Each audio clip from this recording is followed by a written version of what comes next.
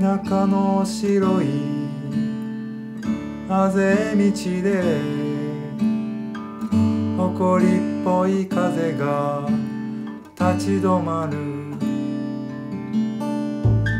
地べたにペタンとしゃがみ込み奴らがビー玉弾いてる。ギンギンギラギラの太陽なんです。ギンギンギラギラの夏なんです。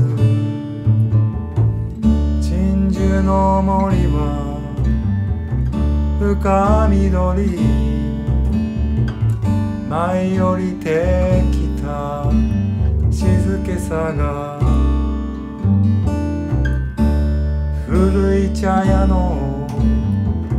店先に。誰かさんとぶら下がる。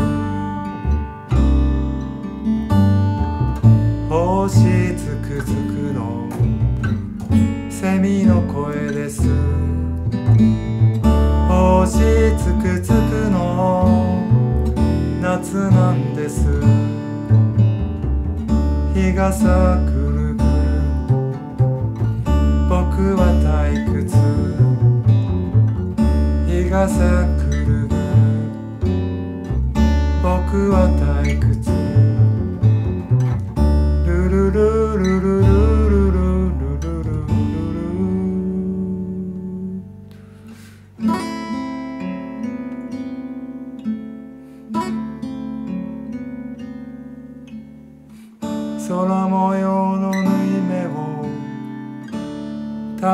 って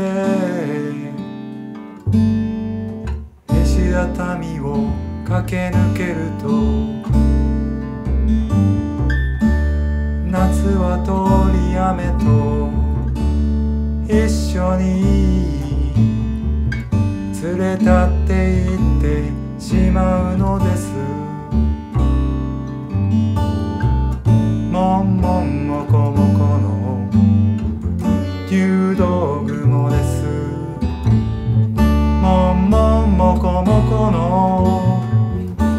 夏なんです。日傘ぐるぐる。僕は退屈。日傘ぐるぐる。僕は退屈。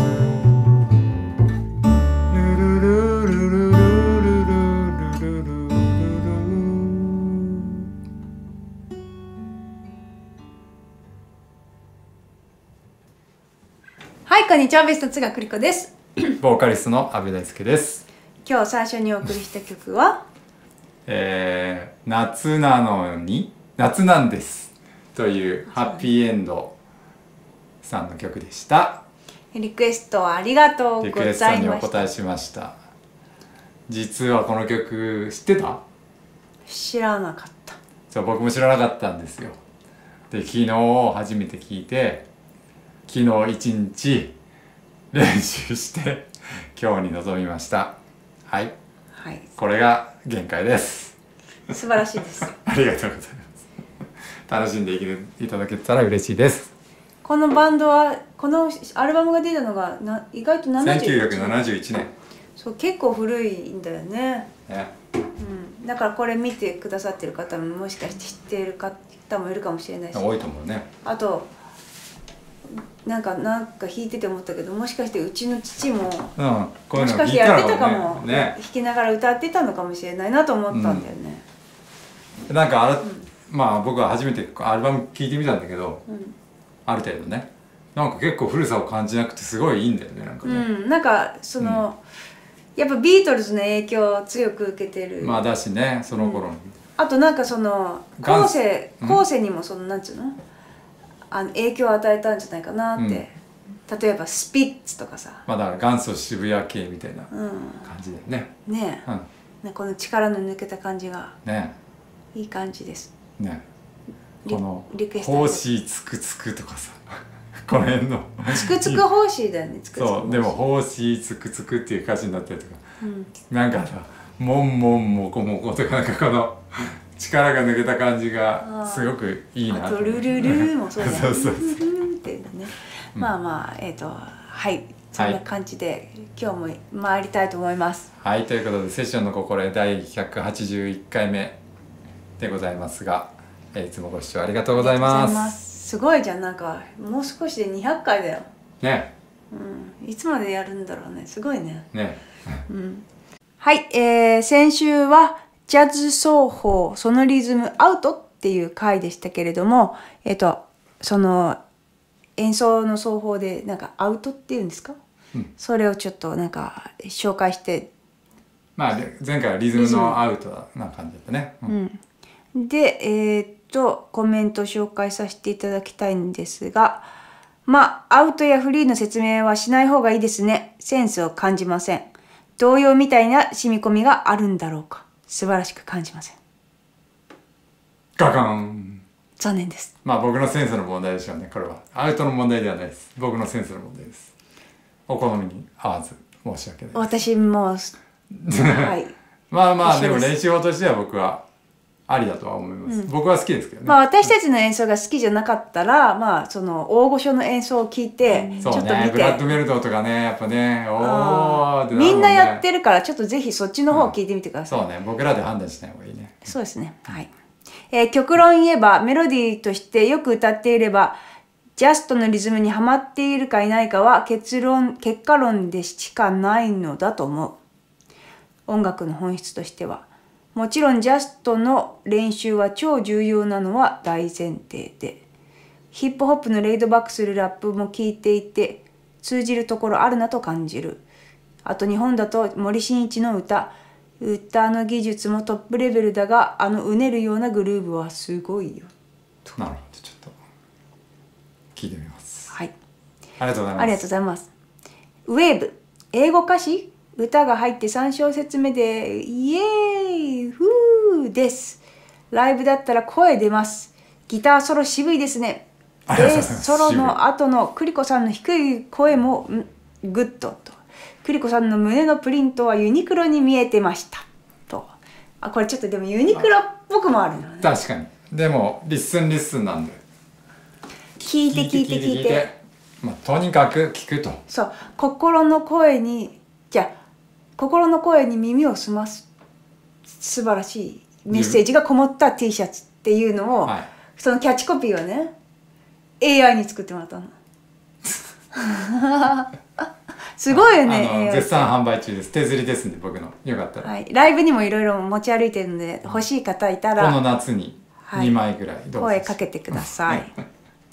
はい。えー、とあとはお二人の演奏とトークに引き込まれ過去過去動画含めてずっと見ています。あらありがとう。嬉しいです。嬉しいです。気が狂わないというのですが。夫婦で演奏できるなんて本当に最高ですね。羨ましいです、はい。えーっとありがとうございあます。りがとうございます。えーっと勇気を持って飛び出してみるっていうのが大学生の頃は当たり前にできていたのに年を経る経るごとに、えーなかなかできなくなってきたのに気づかされる毎日です。意識的に一歩踏み出さないとですね今日も楽しく見させていただきました。久しぶりに曲のリクエストをしさせてくださいっていうことでね。最近暑くなったのでハッピーエンドの夏ですが聴きたいです。可愛い面白い曲で大好きなのでぜひということでした確かに。ねありがとうございます。とうございました。まあそうですね、こん。な感じですか？あとは目標は自分でコントロールできることに名言ですね。勉強になります。ありがとうございます。僕も本から学んだことですけども。はい。はい、まあそんな感じですかね。はい、はい。ありがとうございでます。はい。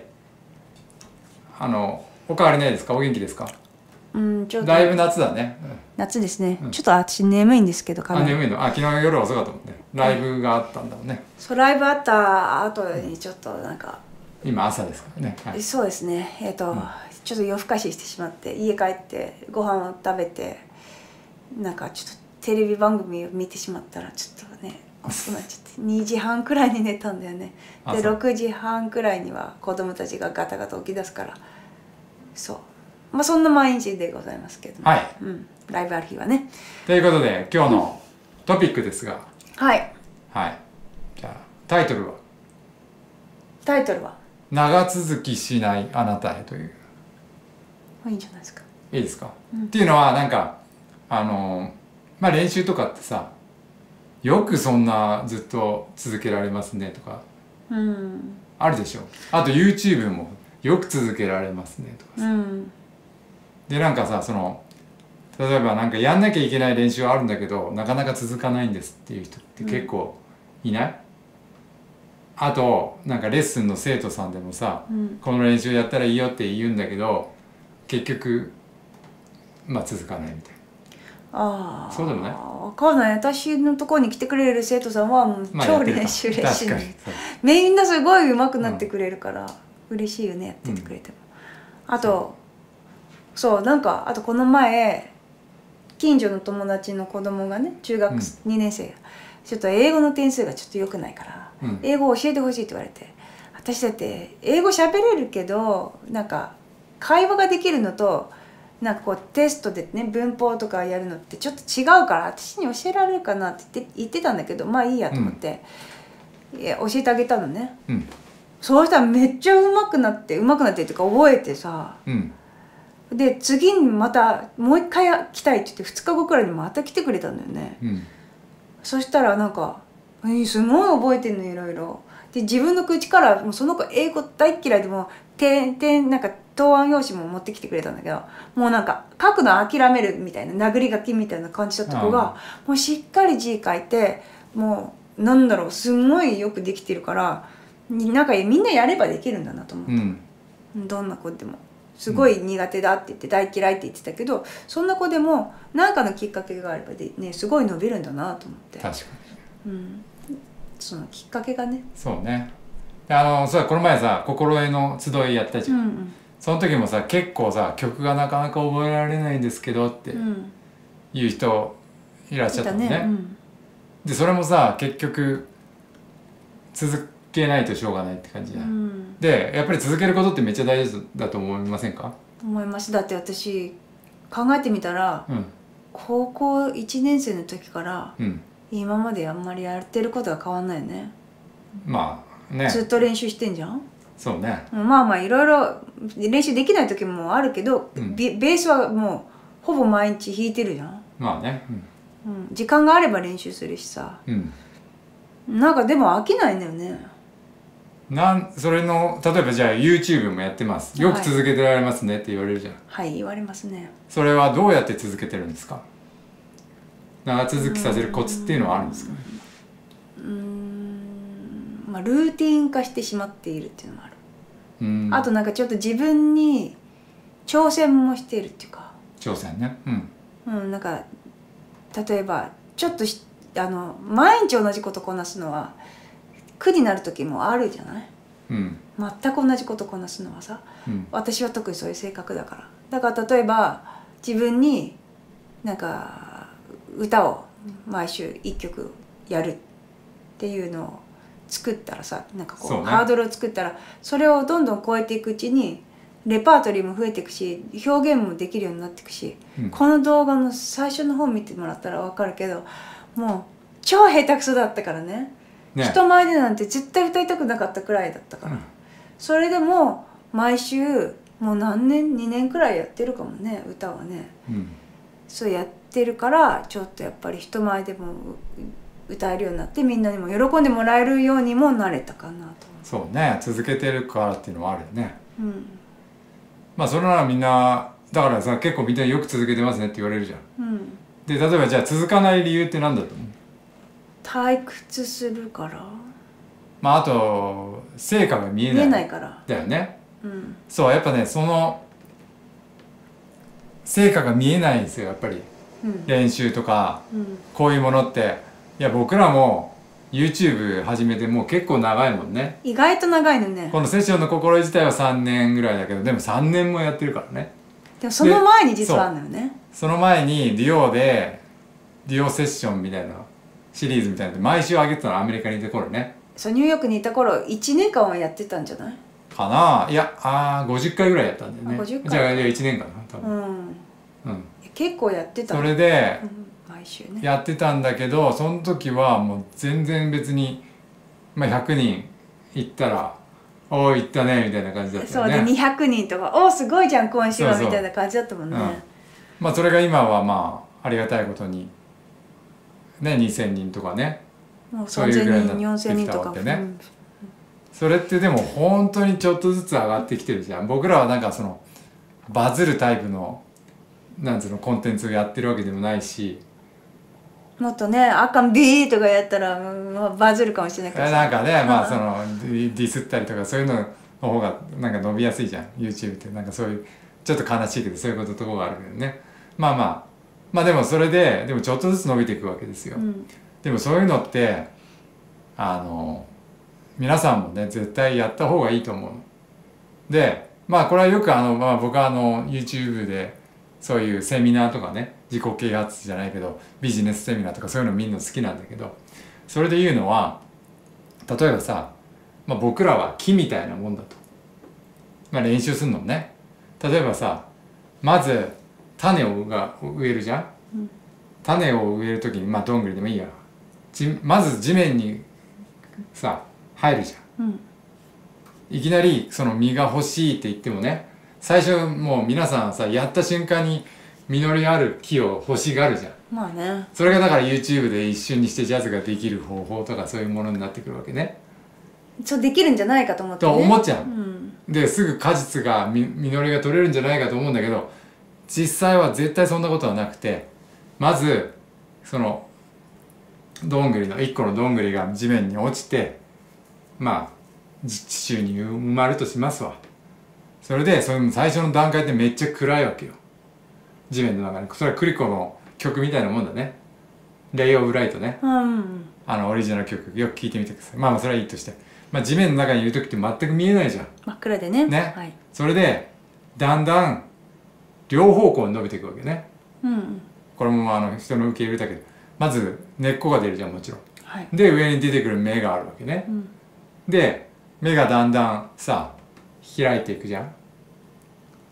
あのそれでまあで最終的にはもう毎年実実が取れるようになってくるっていう段階があるじゃん、でまずその上ができるまでにまず下の段根っこがさしっかりしないといい木ができないじゃん、でなんか練習してる結果が見えない時ってさその毎日毎日やってる時に絶対根っこはどんどん広がってるんだよね、うん。でもそれが見えないから皆さんそこでやめちゃうんだけどせっかくいい根っこができてきてやっとなんか何年かしてうん毎年なんかそのぶどう美味しい食べ物だったりとかが取れるようになってくるっていうのが真実だと思うんですよ。それはだからビジネスとかでもそうだし音楽もそうだし YouTube もそうだし全部そうだと思うんです。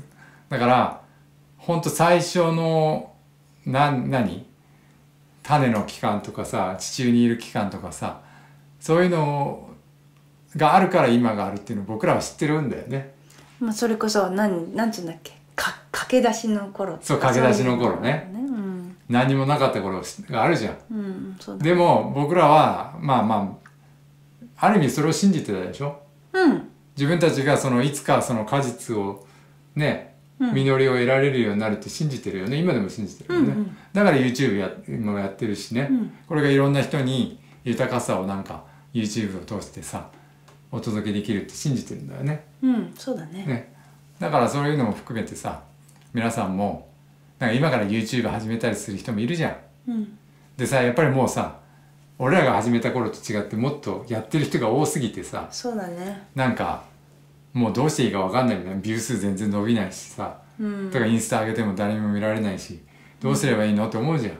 でもやっぱり続けてコツコツ水あげたりとか肥料あげたりっていうのはまだ練習したりとか何アップしたりとかそういうことだと思うんだけどやってるとなんかもう何年か後にねかもしれないけどすごいいい実りができるんじゃないかなと思うんで僕はそういうふうに考えてます。はい。うん、そうするとさなんか一見そのねこんなことやってて意味あるのかなってもうなんか早く弾けるようになりたいのにって思うじゃんみんなねでもやっぱりそこが必要じゃないかなと思うんだけどね。うん。どですか？そううだね。喋りすぎたけど。えっ、とでもあとは、えーよくさバークリーでも見受けられたけどさ、うん。いつも練習室に毎日何時間もいる人っていたじゃん。いたね。まあ私もその中の一人だったけど、まあ俺も割とそういう人。なんか、うん。その住人っていうかさ練習室の住人みたいな、サックスの人とかホーンセクションの人はこっちで、でなんかベースとギターとかそっちでみたいな、まあ、ドラマは下でみたいな感じだったじゃん。うん。でもさなんかずっといる割にはさ全然上手くならない人がいたのよ。いたの？あいたのよ。なんでだろうと思ってたんだよね。うん。でまあ私もその中の一人だったかもしれないけど、あそうなの？うん、まあまあ、うん。でもまあそうだねだそれもだからうまくなんないように見えてたっていうだけかもしれまあないよね、そうだけどでもね気づいたんだよ、うんうん。なんかいやいやなんか時間をそういうね。費やせばや毎日同じことにねうん。費やせばうまくなると思ったの。時間さえつ使えばうまくなると思ったの、やればで、うん。とりあえずやればうまくなるんじゃないかって。だから例えばさっきの曲もさ最初からやるじゃん大体曲って最初から覚えるじゃん。うん。でまた間違えんじゃん途中で。最初からやり直すしじゃん。うん。最初の方すごく覚えるじゃん。だけどその先ってさあれどうどうなってたかなみたいになるじゃん。うん。だからその頃は効率のいい練習っていういい練習法っていうの知らなかったなと思ったの。うんただやればできるようになると思ったけど練習にも方法っていうのがあるんだなっていうのに気づいたんだよね。うん。だから例えばあの本当にこれだけ曲があったとしてここだけうまくいかないみたいなのあるじゃん。だからここだけやればいいとか。まあそうだね。うん。時間がねない限られてるからねやっぱりね。特に今なんて子育て始まっちゃったからさ今はまあ小学校行ったりとかして手は空いたけど本当に子供がチビの時ってすぐお母さんお母さんにさお父さんお母さんにさ行かなきゃいけないわけじゃん。うん。だからもう空いた時間でどれだけあのできるようになるかって特にオーケストラもやってたしその頃は。うん、でもうなんかここのここの部分だけやって、しかもここの部分だけやってもなんか気持ちが「ああここ難しいとこできたクリアした」っつったら絶対次の部分でこけるわけよ。ここの次の部分で。だからここの前後を練習するっていうことをなんか部分的に練習してそういうふうにやっていったらうん。だんだんなんか短い時間で効率よくなんか練習できるようにかいろいろゲットできるようになったなと思って。そうね。うん、なんか時間を費やす時期も必要かもしれないけどそうやって時間がない人はそうやって練習するのもいいかもしれないね。うん。まあ曲を覚えるとしたら例えばねまああのた例えば100曲覚えますって言ったらさ自分でコントロールできないじゃんやっぱりね。自分のメモリーもまだよくわかんないし。だからまあでもそれだったら1日1小節覚えますだったらまあできそうじゃん、うんねそういうことにしてうん。1日1小節ずつ覚えていったらね12日で12小節の曲を覚えられるじゃん。うん。まあそういう感じで最初はやっていったらいいと思うけどね、あとなんかよく、私は生徒さんにも言ったりするんだけど、なんか、まあ、日本ってそういう文化があったんだよね。なんか例えば、間違えたら「あんたそこ間違えたでしょ」とかさ「そこいつも間違えるんだからあ」ー。とか「そうここいつもそうだよねこうなるよね」とかすごい間違えたっていうことを指摘されすぎちゃうこととか。ねで自分もそういうマインドになっちゃってあまたここ間違えた。あまたここ間違えたっていうのであのその間違いを覚えてしまっちゃう。覚えてしまうこともよくあるんだよね、だから、まあ、そこだけ練習してできるようになったらなんかなんかもうできるようになったのに3回練やってみて 3, いやうんと3回中2回できるようになったのに、うん。それくらいの確率できるようになったのにもっとなんか同じこと繰り返して繰り返して結局できなくなるまでなんかこうやってしまいがちじゃん。なんか永遠に繰り返して、間違えるまで弾いちゃうタイプね。そうそう、それで結局なんか腐ってああもうできないもういいや今日も疲れたっつって楽器を置いてもうやめにする。今日はやもうやめようってなるよりかはあ3回中2回弾けた。よし。今日はもうこれで終わりにしよう。そうだね。楽しかったっって。ちの方がいいね。楽器を置く練習っていうのが、うん。なんかうまくうまくなる近道なんじゃないかなと思うね。そう。そうなんかこの前のさその曲がなかなか覚えられないって言ってた方もねやっぱり実際セッションの場で人に迷惑かけたくないって思ってるのねよくわかる、うん。だからベーシストだからね。そうよくだから自分がロス分かんなくなってバンドに迷惑をかけないように譜面を絶対見るようになっちゃしてるって言っちゃった。私もそうだでも迷惑かけてもいいんじゃないって俺は思うんだけどね。それが迷惑じゃないよね,、じゃあセッションってそういう場だもんね。うん、、まあそうだよね。楽しんで自分の成長をさできる場なんじゃないかなと。うん。まあニューヨークはかあの日本は分かんないけどニューヨークはもうみんなそうだったよね。まあ。ねあの実験してたよね。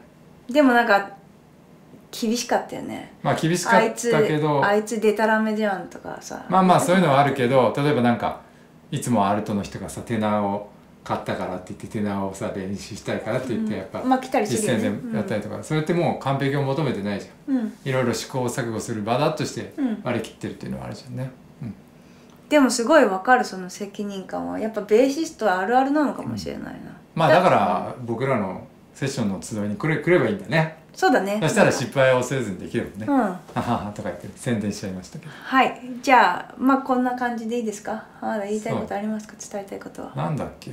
なんか言いたかったんだけど忘れちゃったなまた次の回で思い出したら言ったらいいんじゃないですかね。じゃあえっ、とあはい。そうそう。あのそう今のね悪いとこを見ちゃうっていう話だけど、うん。例えば YouTube とか始めるじゃん、うん。まあ、ミュージシャンでさ繊細じゃんみんな。うん。でちょっとネガティブなコメント1個だけ来るだけで気にしちゃうじゃん。まあ僕らもそうだけど。そうだね。でも本当気にしないで。あなたのやってることは絶対価値があるから。あのそのままもちろんね改善するとこをヒントになるコメントもあるからそれは大事にした方がいいんだけどでもその自分には価値があるっていうことを常に忘れないでやってみてください。うん、なんかに書いてあったそうやって、うん。えっ、と悪口を言われた、うん誰かの格言で、うん。悪口を言われた君がなんか気にかけられてきたことだよ来た証拠だよって、うん。陰口を言われた面と向かって言えなくなっちゃった証拠だよみたいなのがあったんだよね。ええ。だからああなるほどそうだなそうやって考えればいいんだなと思います、そう。ね全部ねポジティブにねそうそう。いきましょうね。行きましょう。はい。ということで、えっ、と、最後にお送りする曲は、なんかウェイン・ショートの曲やってほしいって、あの、リクエストがあったので、こんなちょっと変化球をと思って、えっ、と、ウェイン・ショーターのエル・カウチョっていう曲をやってみたいと思います。はい